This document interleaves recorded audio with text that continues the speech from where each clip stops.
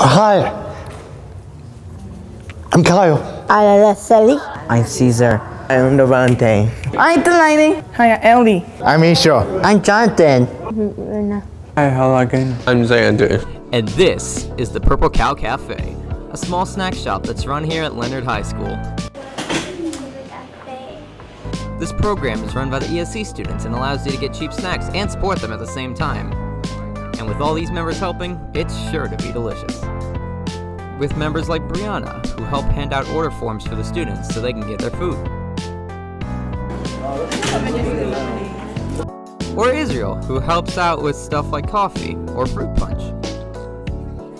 That Kool-Aid looks amazing! And with all items being only $1, you're sure to be coming back for more. For a cheap treat you can try today, come to the Purple Cow Cafe.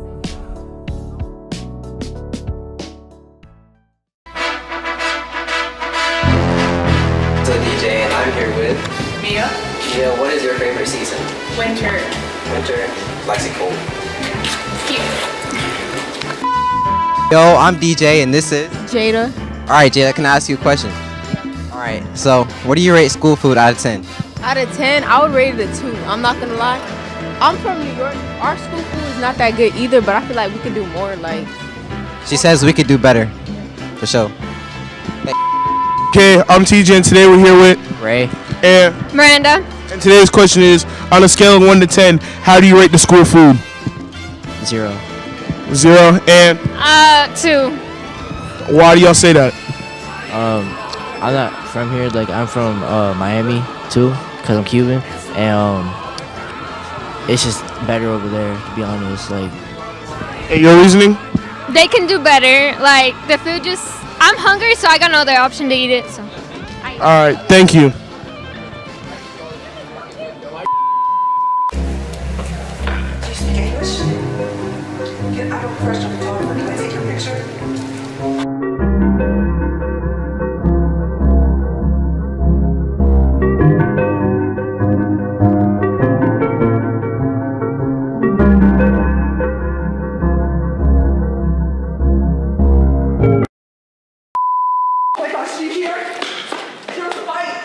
Oh my god, I always wanted to be in one of these. No, that's not. Oh my god, I'm listening to one of your freestyle by Joji. It's so good.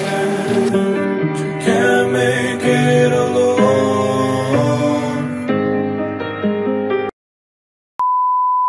Thank you for watching the Roundup Report, where we grab the news by the horns.